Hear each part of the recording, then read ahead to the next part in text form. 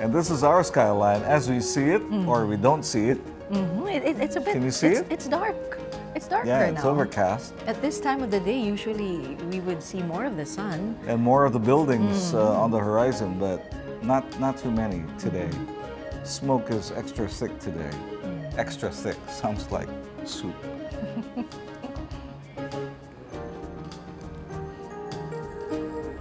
and good morning, I'm Jing Magsaysay. And I'm Amelyn Veloso. And Pat is in the other studio, Mm-hmm. in the Solar Weather Center, and she's going to join us in a bit. You're watching Solar Daybreak on the Solar News Channel. It's the end of the month, Thursday, January 31, 2013. In the quest for an ultimate productive day like today, it's important to think about how you get started in the morning.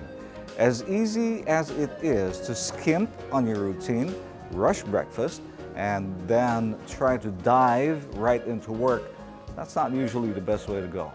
Without starting your morning properly, you may never hit your full efficiency, or worse, you could doom the rest of your day to failure, even if you run. To us who go to work in the morning, it's important to get a good night's sleep. Eat your breakfast and prepare yourself for the rest of the day. The goal is to remove yourself from distractions and prepare to focus on doing work. Whether you're working at home or in an office, it helps to create a routine that clearly signifies this change.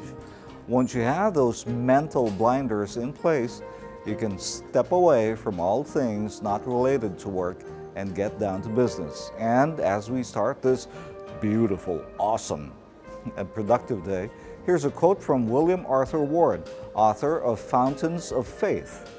He said, The more generous we are, the more joyous we become. The more cooperative we are, the more valuable we become. The more enthusiastic we are, the more productive we become.